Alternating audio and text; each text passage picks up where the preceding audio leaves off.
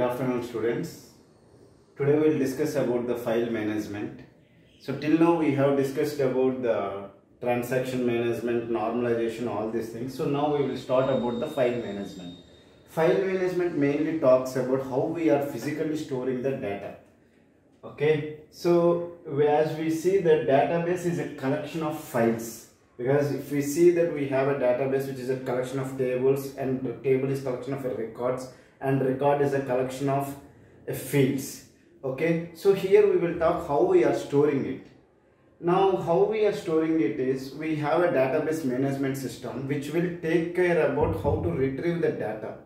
And in operating system whenever we are retrieving a file suppose in a, we are re- retrieving a video from the operating system. Whereas if we are re- retrieving a video we will retrieve the entire video.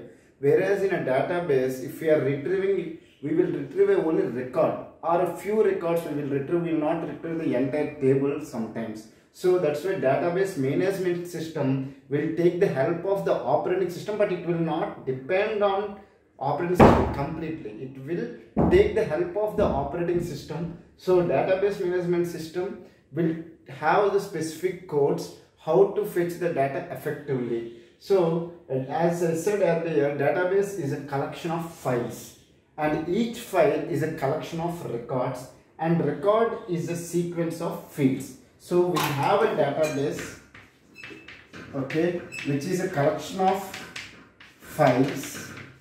And the files is a collection of records and records is a collection of fields. So everything we now the records we will store in terms of blocks. In our operating system also in the main memory we have a specific blocks. In cache memory we have lines and we have in the secondary memory we have the pages in the virtual management virtual memory concept. So here we have the blocks. So how we are storing the records and how to effectively store the records all these things we will study in the file management concept. So we will discuss about the how these blocks are stored and how the records are stored in the memory.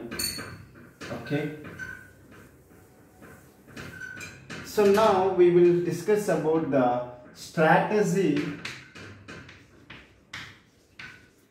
for storing the records in a block. Because a block will consist of collection of records okay? So as i said earlier file is a collection of records. So we have a file which will be stored in a now if i have a one file which will be divided into blocks block 1 block 2 block 3 so on. Now in each block we will have set of records. This may be record 1 record 2 like that we will have a set of records. So we will discuss about how this is effectively storing. So we have two strategies for storing records in a block. One is spanned strategy. One is the spanned strategy for storing records in a block. And second one is unspanned strategy. So we have two strategies for storing records in a block. One is spanned strategy and another one is unspanned strategy. So now in this video we will discuss about what is a spanned strategy and what are the advantages of spanned strategy and what are the disadvantages of spanned strategy. Similarly we will discuss about what is an unspanned strategy, what are the advantages of it and what are the disadvantages. So first we will discuss about the spanning strategy, how the records will be stored in a block. Okay. Spanning strategy. So in the spanning strategy, okay, before discussing about the spanning strategy, let me discuss what is a blocking factor.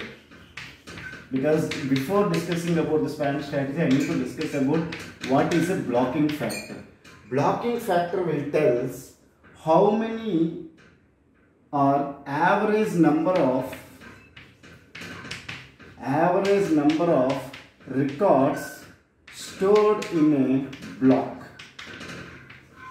Okay blocking factor will tell me because we are saying that a block is collection of records. In a block we have a set of records. So blocking factor will tell me average number of records in a block. Okay, how many records averagely I can keep in a block will be identified with the help of blocking factor. Now come to the spanned strategy of storing the records in a block.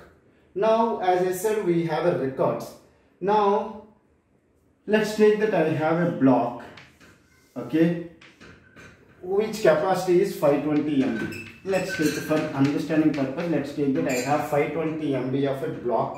One block size is 520 MB okay so now each record is 100 MB. Let's take that I have one record size is 1 MB. So how many records I can keep? I can keep record 1, I can keep record 2, I can keep record 3, I can keep record 4, I can keep record 5. 5 records I can keep because I have 5 records which is of 500 MB. So remaining 20 MB will be there.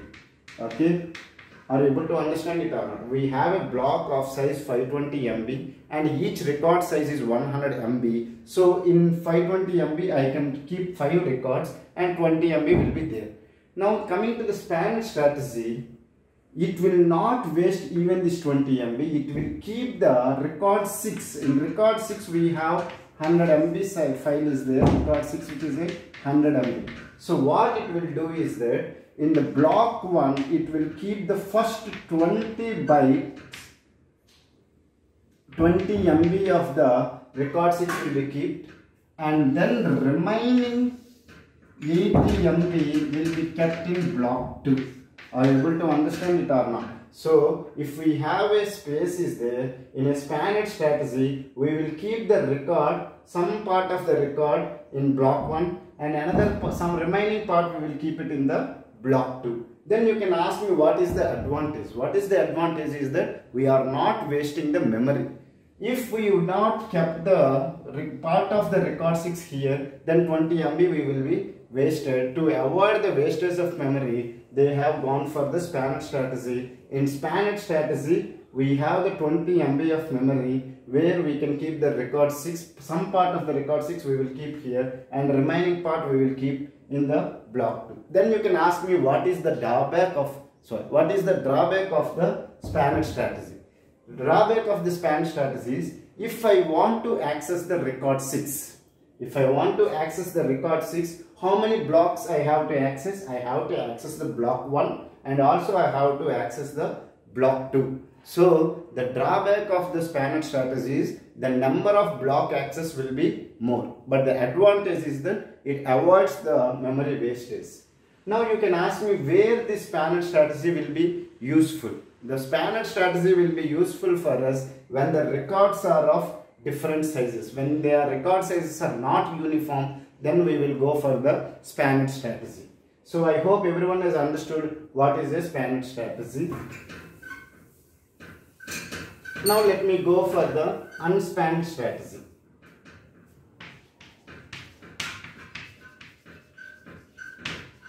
Unspanned strategy. In unspanned strategy, the same one, if we have 520 MB of block size and the record size is, the block size is 520 MB and the record size is 100 MB, let's take that. So record 1 will be kept, record size is 100 MB now record 2 I can keep record 3, record 4, record 5 and the 20 MB will be there.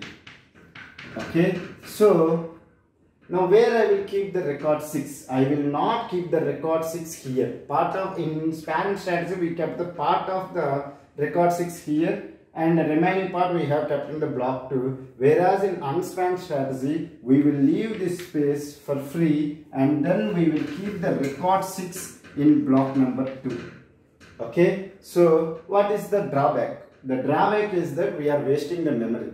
And what is the advantage? The number of block access are reduced. Because if i want to access any particular record i can access single block one suppose if i want to access record number 5 i have to access only block number 1 if i want to access the record number 6 i will access the block number 2 so the advantage is that the number of block access is less but the drawback is that we are wasting the memory now where this unspanned strategy will be useful is when the record size are fixed. When the record size are fixed, we will go for the unspanned strategy. So I hope you have understood the introduction related to the file management. We'll discuss about the organization of records in a file. We can organize the records in two ways. One is the ordered file organization and second one is unordered file organization. What is meant by ordered file organization means if the, all the records are in the sorted order all because the records we will store in a file okay if all the records are ordered in a sorted order then we will say that it is an ordered file organization. So in this one the records are records are stored in ordered way meaning or I can say that in sorted order are stored in sorted order. Whereas in unordered file organization, the records are stored in unsorted order. Okay, the records are stored in unsorted order, then we will call it as an unordered file organization. Now come to the ordered file organization. We will discuss what are the advantages of ordered file organization and what are the drawbacks of ordered file organization. Similarly, the advantages and disadvantages of unordered file organization. So, as we discussed earlier, the ordered file organization will have the records are stored in the sorted order. So, we'll discuss about ordered file organization, the drawbacks and advantages. If all the records in a field, in a file, sorry, not in a field, it is in a file, if all the records are stored in sorted order record 1 record 2 record 3 so on record n. If all the records are stored in the sorted order what is the advantage? The advantage is searching will be easy because if all the files are ordered in the sorted order i can apply binary search. Because the searching will be easy because i can apply on a if all the numbers are in the sorted order we already discussed that we can apply binary search. So i know i think everyone know it what is the binary search and how it will work. But I will not discuss about the binary search if we all these things will not discuss about the binary search. But if the files are stored in the or sorry in, if all the records are stored in the sorted order we can apply the binary search. And I think everyone know what is the average time complexity of the binary search. The average time complexity of the binary search is log n base 2 so if I want to so it will have log n base 2 if I want to access any record in the ordered file. So the average time complexity is log n base 2 as we are applying the binary search.